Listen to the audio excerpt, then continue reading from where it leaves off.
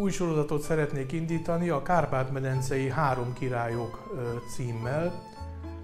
Ugye a Kárpát-medencei három királyokat ként ábrázolták, a Turul nemzetség szent királyait, Szent István, Szent Imrét és Szent László királyt.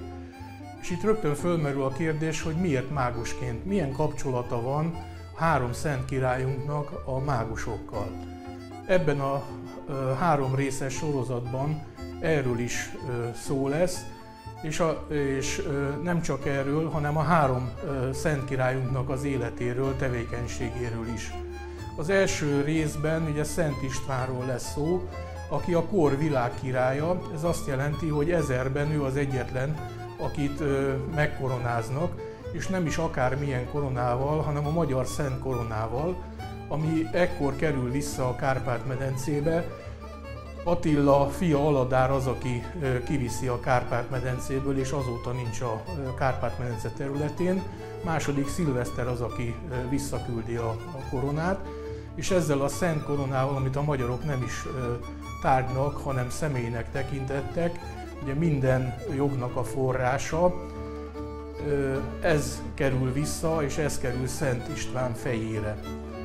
A második részben Szent Imre hercegről lesz szó, aki az akkori Európát egyesítette volna, mint világcsászár. Ugye ez mindez születési jogon, tehát mint magyar király, a Kárpát-medencei Magyar Királyság területe egyesült volna a német-római császári birodalmi területekkel, mégpedig azért, mert ugye Gizella Bajor királylány volt az édesanyja, így a Bajor királyi címre is pályázhatott Imre, és ezzel egyenesen következik, hogy német-római császár is lehetett volna. A felesége révén, aki bizánci császárlány volt, pedig a bizánci görög trónt is megszerezhette volna, így a német-római császári, a görög-bizánci és a magyar királyi címmel együtt a kor valóban világcsászára lehetett volna, ha megéli. 1031. ugye szeptember 8-át a koronázását. Hát ezt, hogy miért nem élte meg, erről is szó lesz a sorozatban.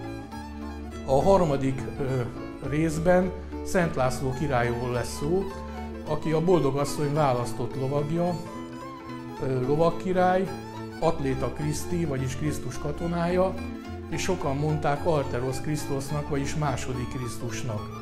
Az ő életéről és az életművéről lesz szó. Mindez majd megtekinthető a www.digita.hu oldalon.